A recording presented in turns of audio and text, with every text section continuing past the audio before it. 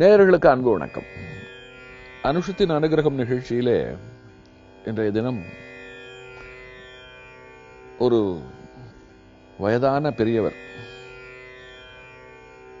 அவருடைய மனக்கலக்கத்தை அவருடைய கிளேசத்தை பெரியவர் எப்படி நீக்கி அவருக்கு அருள் செய்தார் அப்படிங்கிற ஒரு சம்பவத்தை இன்றைக்கு நாம் தெரிந்து கொள்ள இருக்கிறோம். நிறைய வயதான பெரியவர்கள் வந்து பெரியவரை தரிசனம் செய்து தங்களுக்கு நல்ல விதமாக மரணம் வர வேண்டும். வியாதி வந்து நகரக்கூட முடியாமல் கிடந்து கஷ்டப்பட்டு நாமும் கஷ்டப்பட்டு நம்முடைய பிள்ளைகளையும் நம் குடும்பத்தவர்களையும் கஷ்டப்படுத்தி அதற்கு பிறகு உயிர் பிரிவது என்பது அஹ், இதனால யாருக்கும் எந்த விதமான அஹ், நன்மையும் இல்லை. ஆகையினால நல்ல விதமாக உயிர் பிரிய வேண்டும். படுக்க போனேன். காத்தால எழுப்பலான்னு போய் பார்த்தா தூக்கத்திலேயே உயிர் பிரிந்தது அப்படின்னு நிறைய பேருக்கு நம்ம கேள்விப்படுறோம் இல்லையா? இதை அருமையான சாவுன்னு சொல்லலாம். யாருக்கும் எந்த துன்பமும் தராமல் இந்த உலகத்தை விட்டு பிரிவது. என்னைக்கு இருந்தாலும் ஒரு நாள் இறந்து தான் தீரணும். அந்த இறப்பு இந்த உடம்பை விட்டு இந்த உயிர் பிரிவது அப்படிங்கிறது ஒரு பூச்செடியை விட்டு பூவானது உதிர்ந்து கீழே விழுவது போல் இருக்கணும். ஒரு மரத்தில் பழுத்த பழம் இருக்கிறது அல்லவா? இனிமேல் இந்த மரத்தில் என்னால் இருக்க முடியாது என்று எப்படி இது கீழே விழுகிறதோ அது போல் இருக்கணும். நம்ம நடுவில் பறிச்சா என்ன ஆகும்னா பால் வரும். அந்த மரம் பிரியாமல் அழுகிறது என்று பொருள்.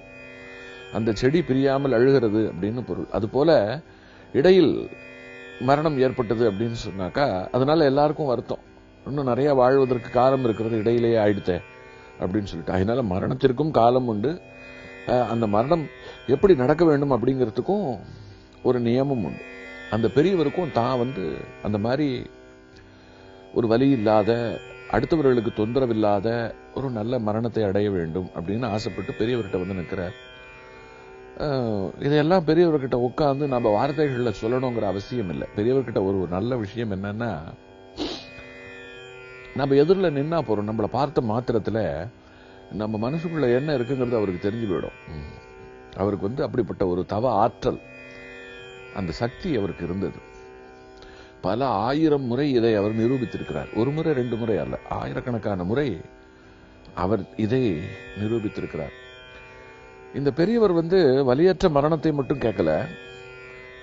போதும் நான் எல்லா விதமான வாழ்க்கை பாடுகளையும் பார்த்து விட்டேன். இருந்தாலும் எனக்கு வந்து இன்னும் சில ஆசைகள் இருக்கு அது போக மாட்டேங்குது அதனால எனக்கு இந்த பற்றும் நீங்கணும். நான் வைத்திருக்கிற இந்த பற்று இருக்கிறது அல்லவா? இதுவும் நீங்கணும். அதற்கு எனக்கு நீங்கள் தீட்சை தரணும் அப்படிங்கிறார். ஒரு நல்ல சத்குருநாதர் வந்து நம்மளை பார்த்து நம்மளை பார்த்தாலே போறோம். முக்காலே மூணு வீசம் பாவம் போயிடும். அவர்கள் வந்து தீட்சை கொடுத்து விட்டார்கள் என்று சொன்னால் அஹ், நாம் அப்புறம் அதை பத்தி கவலைப்பட வேண்டாம். இந்த உலகத்தில் நாம் திரும்ப பிறக்க மாட்டோம். அந்த தீட்சைப்படி நாம் நடந்து கொள்ளணும். அது ரொம்ப முக்கியம். இந்த பெரியவரும் தனக்கு தீட்சை வேணும் தனக்கு வலியற்ற மரணம் வேணும் அப்படின்னு சொல்லிட்டு பெரியவர் முன்னால் நின்று கொண்டிருக்கும் பொழுது பக்கத்தில் வந்து பெரியவருக்கு அன்றாடம் அவரை தரிசிக்க வருகின்றவர்கள் வந்து பூ பழம் கொண்டு வருவார்கள். நிறைய விதவிதமான காணிக்கைகள்லாம் வரும். அன்றைக்கு ஒருவர் வந்து மூலிகை வேறான வெட்டி வேர் இருக்கிறதல்லவா அந்த வெட்டி வேரில் செய்த ஒரு மாலையை பெரியவருக்கு எடுத்துக்கொண்டு வந்திருந்தார். அந்த மாலை பக்கத்துல இருந்தது. இவர் என்ன பண்ணாருன்னா எல்லாருக்கும் பழம் கொடுத்து கொண்டே வந்தார். பக்கத்துல நிறைய பழங்கள் இருந்தது. தன்னை தரிசனம் செய்கின்றவர்களுக்கெல்லாம் கையில் கிடைக்கிற பழத்தை எடுத்து கொண்டு வந்தார். இந்த பெரியவர் பக்கத்தில் வந்து நிற்கும் பொழுதும் பக்கத்தில் நிறைய பழம் இருக்கு. வெட்டி வேர் வந்து கொஞ்சம் தள்ளி தூரத்தில் இருக்கு. தன்னுடைய உதவியாளரை பார்த்து அந்த வெட்டி வேரை எடு அப்படின்னு சொன்னார். இவருக்கு பழம் கொடுக்கல. இந்த வெட்டி வேரை எடுத்து கையில் கொடுத்தார். அவருக்கு ஒன்றும் புரியல. பொதுவா பழம் கொடுத்தால் காரியம் பழம் அப்படின்னு அர்த்தம்.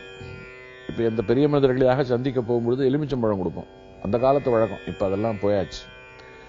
பொதுவாக பழம் வாங்கி கொண்டு செல்வது பழம் தருவது பழம் பெறுவது இதெல்லாம் வந்து ஒரு நல்ல அறிகுறி. காரியம் பழமாகும். தித்திக்கும். புளிக்காது. அப்படின்னு சென்டிமெண்டா அதற்கு வந்து ஒரு பொருள். அதனால இவரும் நமக்கு பழம் கிடைச்சதுன்னு சொன்னாக்கா நம்ம வேண்டுதல் பலித்து விட்டது பெரியவர் ஏற்றுக்கொண்டு விட்டார்னு அர்த்தம். அதனால மனசுக்குள்ள வந்து தனக்கு பழம் கிடைக்கணும் அப்படிங்கிற ஒரு வேண்டுதலோடு நிற்கிறார். ஆனால் பெரியவர் வெட்டி வேரை கொடுக்கிறார். இவருக்கு புரியல. சரி எதை கொடுத்தால் என்ன பெரியவர் கையால் கிடைத்ததுன்ற சந்தோஷத்தோட போய் அப்படி உட்கார்றார். உட்கார்ந்த பிறகு பக்கத்தில் இருக்கிறவருக்கு அவர் காதில் விழுகின்ற விதத்தில் பொருள் சொல்லுகிறார். ஏன்னா அவர் சஞ்சலப்பட்டுட்டார். பழம் கிடைக்கலையேன்னு வருத்தமும் பட்டுட்டார். அதனால பக்கத்தில் இருக்கிறவருக்கு சொல்றார். அவர் வரும்பொழுது அவருக்கு பழத்தை கொடுத்துட்டு இப்போ அவர் கேட்குறாரு என்னது? எல்லாருக்கும் பழத்தை கொடுத்தேன். அவருக்கு நான் வெட்டி வேற கொடுத்தேன் அப்படின்னு சொல்லிட்டு நீ யோசிக்கிறியா?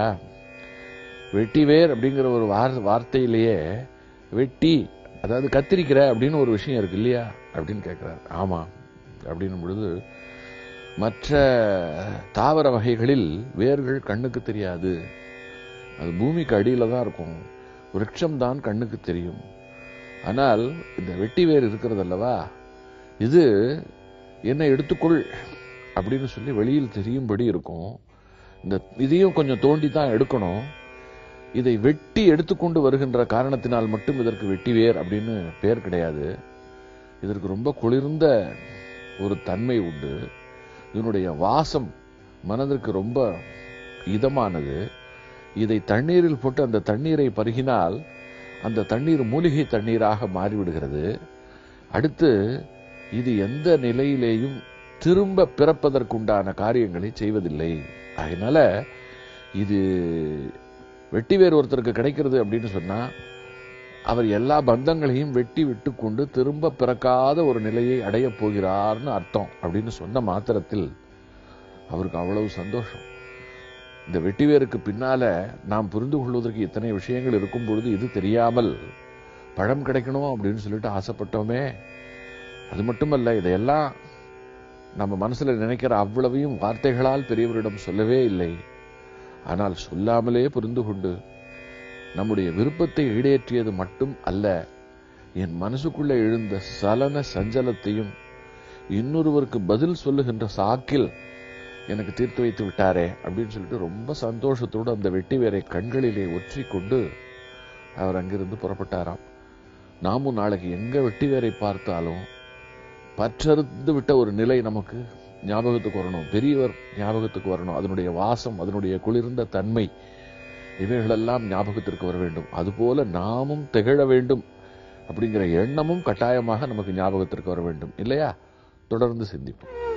காஞ்சி நகர் உரையும் காமகோட்டி குருவே காமகோட்டி குருவே காமகோட்டி குருவே.